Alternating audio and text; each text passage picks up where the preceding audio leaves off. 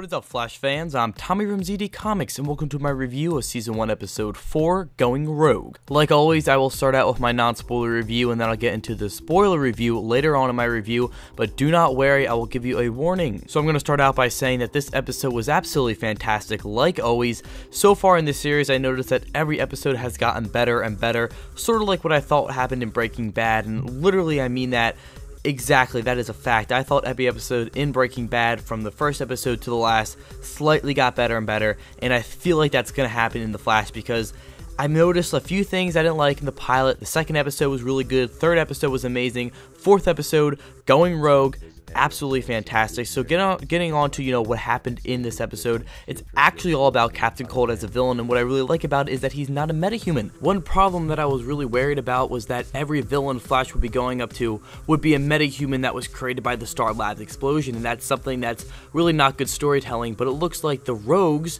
of course, the Rogues are a group of villains, not just you know the Rogues Gallery, but the Rogues themselves are a group of villains in the Flash comics, and it looks like they're already going to be created by the Captain Cold, who will probably be the leader. And he actually, at the end of the episode, don't want to spoil or anything, but he did, you know, talk to other Rogues members that will be later on in the season. You probably already know who that person is, but I don't want to spoil it for you for those who don't. So, anyway, Captain Cold is basically going to be the leader of the Rogues, and I thought that his origin and the origin of his gun was absolutely fantastic. I was hoping that we could have Captain Cold, who has the powers himself, and then they could explain that without giving him that metahuman feel.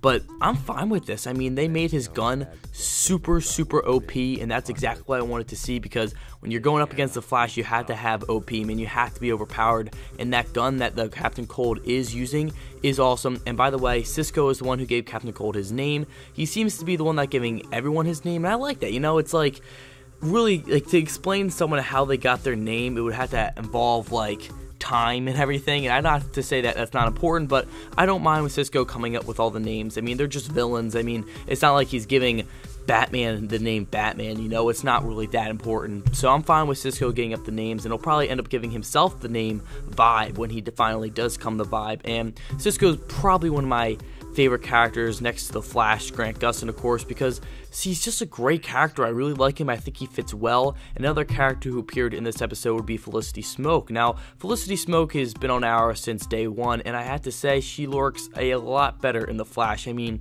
her bright personality and her wittiness just flows so much nicer on the Flash. Like she has a lot of awkward moments in Arrow that are, you know, purposely supposed to be awkward, but in the Flash they just seem to make sense, and I really like that. And I just hope that we can see Felicity more in the Flash. And honestly, I don't mind if they take her out in Arrow. I I think they should just keep Arrow dark. There's no need to brighten that up at all. You know, you already have the Flash now. Which bringing up Arrow, I would like to say that the Flash so far has been better than any Arrow episode I've ever seen. And there's been certain Arrow episodes I really like that probably do top the episodes we've seen so far in The Flash, but I will say that The Flash right from the beginning is so much better. I mean, this this show is really going to help CW. I think it has a really bright future, a brighter future than Arrow does. I mean, if we do end up getting like three shows on the CW. Arrow could be getting canceled. Of course, they wouldn't get blindly canceled. We would obviously probably finish up the five seasons, which would end the flashback storyline. But I do think that the Flash is going to run longer than Arrow ever did. So let's say Arrow goes to, you know, maybe five seasons. I would think The Flash would go to eight or nine, and it would even go longer than that. So getting back into the episode, I want to mention one more thing, and that would be the relationship between Iris and Eddie Thawne. And of course, you had to have that CW relationship type thing. And you have that with the Flash and Felicity. Now you have it with Iris and Eddie, who both are, you know, one hero, one villain. And I gotta say, I'm not a big fan of, you know, superheroes and relationships. I think it's has to be taken delicately, especially in the TV shows. And Arrows, I absolutely hate. I hate the Felicity and Oliver thing, but Felicity and the Flash, you know, I, I could dig that. You know, I'm fine with that. And Eddie and Iris, that's not bad relationship going on. I'm be I'm gonna be honest with you. I mean, this is just something I really am warming up to. I mean, I don't know if it's just from watching Arrow so much, but I thought that the CW throwing in their version of, of course, relationship type feels wasn't that bad. I think it was pulled off pretty good. It wasn't overdone, not too much icky stuff and everything, but it stuck close to just feeling like a comic book, and that's what mattered most. So that's going to finish my non spoiler review. I'm about to get into the spoilers, so if you haven't seen the episode, come back to this part of my review and finish watching. But let's get started. So, what happens in this episode is Captain Cold starts terrorizing, looking for a diamond. He fails the first time when the Flash stops him, but eventually he gets his gun, which was actually built by Cisco to stop the Flash, which was really good storytelling right there. So basically, when the Flash was in the coma, they found out he had his powers uh, probably between season one and two, which was like a I think a three month break in between those two episodes. He probably built this gun because they couldn't really trust you know Barry right away. They can't be like, oh, this guy's not going to be like all the other metahumans who tried killing Barry and the whole world and everything like that. For instance, the first guy who thought he was a god, so they couldn't trust Barry at first. So they built this gun, and it was really interesting how they explained it. They were really really good at explaining science. Basically, they said that the freeze gun is basically the opposite of the Flash. It actually stops him from moving because, you know, everything, our particles and everything that the faster they move, they heat up. And basically, when Harry runs, things catch on fire, for instance, lightning and everything. So having a freeze gun would do the complete opposite. And the freeze gun can trigger absolute zero, which is something that's not really realistic yet. It's like, kind of like a hypothesis where basically when you get so freaking cold, everything stops and matter itself just doesn't move because atoms are constantly moving. Your desk and the atoms inside your desk or even your body are constantly moving. So if you were to reach absolute zero, you would kind of just there would be nothing left. So that's really good storytelling right there. And I like how they can make that gun so OP. And I liked how it was created by Cisco. Now there's some trust issues between Cisco and Barry. That's one problem I had. But let's get on to the ending of this episode, which would be the Captain Cold kind of freezing a train and everything. And it was awesome. Captain Cold's weakness that he saw in Barry was that he always had to save people. So he used that against him by freezing the train.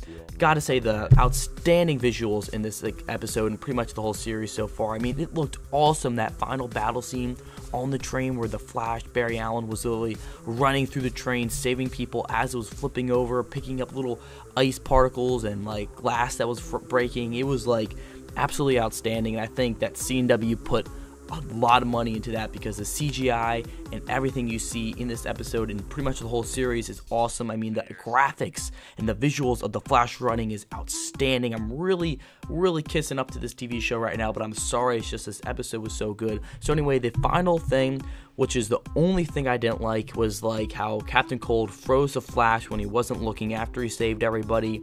Basically, he was frozen right in the chest, right across his arm. So, like I said, it really hurts someone, and the Flash it really hurts him. He can't really move, so he's stuck on the ground. Cisco comes in to save the day because he felt responsible, you know, for creating the gun and everything to basically stop Captain Cold, who he does say his name, Captain Cold smiles and everything. But anyway, he's about to stop him, and he basically lets him go. I'm like, why would you let him go that easily? I mean, I know you stopped him from trying to kill Barry, but like you just like you just walked away. Like you just let him walk away. Why didn't you act more superhero like and say, no, stop it, drop the gun, like I have you cornered. And of course, what he was actually holding was just a vacuum machine, not a prototype of the actual freeze gun, which was funny and it's kind of you know relaxing and everything. But I gotta say, this episode was really good. The only problem, of course, would be that they just literally left Captain Cold go. I'm happy of that because at the end of the episode, we see him kind of recruit Heatwave onto the Rogues Gallery. My guess is that we're gonna be seeing Heatwave, Captain Cold, Gorilla Grodd, Mirror Master, possibly one more other person in the Rogues Gallery, like five people. They could possibly possibly be